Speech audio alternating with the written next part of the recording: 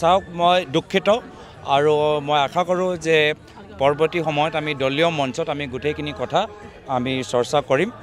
কিন্তু যথেষ্ট মই দুখ পাইছোঁ আৰু আশা কৰোঁ যে পৰৱৰ্তী সময়ত আমি সকলোৱে এটা ঘৰুৱাভাৱে গোটেইখিনি কথা আলোচনা কৰি আমি আমাৰ বিজেপি বিৰোধী শক্তি একত্ৰিত হৈ থাকে অক্ষুণ্ণ হৈ থাকে আৰু অসমৰ ৰাইজক অহংকাৰ আৰু অন্যায়ৰ পৰা মুক্তি কৰা যি আমাৰ ৰণকৌশল হ'ব লাগে তাৰ ওপৰত আমাৰ চৰ্চা চলি থাকিব।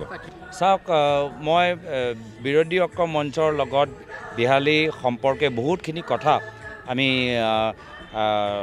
মানে ক্ল'জ ড'ৰ মিটিঙত আমি পাতিছোঁ আৰু গোটেইখিনি কথা আমাৰ নিখিল ভাৰত কংগ্ৰেছ সমিতিয়ে কি কয় তেওঁলোকে অৱগত।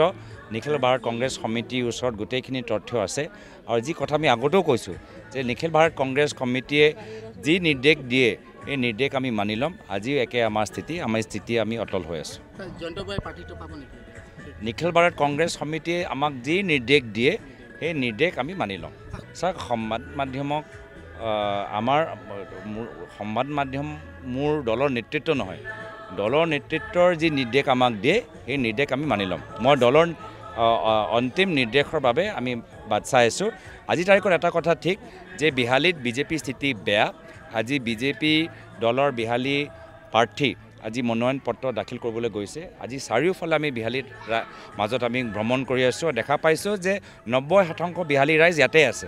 মানে তেওঁৰ লগত কোনোতে যোৱা নাই তেওঁ জনপ্ৰিয়তা লাভ কৰিবলৈ সক্ষম হোৱা নাই আৰু বিজেপি দল বাহিৰৰ পৰা যিমান শক্তিশালী দেখাবলৈ চেষ্টা কৰিছে ভিতৰত যে তেওঁলোকৰ শক্তি নাই সেয়া আজি আমাৰ যাত্ৰাই প্ৰমাণ কৰি দিছে। আপুনি বিচৰা বাতৰি পাব কেৱল নিউজ এইটিন এপত। নিউজ এইটিন এপ ডাউনলোড কৰিবলৈ স্কেন কৰক এই Q R code Google Play ষ্টৰতো পাব এই নিউজ এইটিন এপ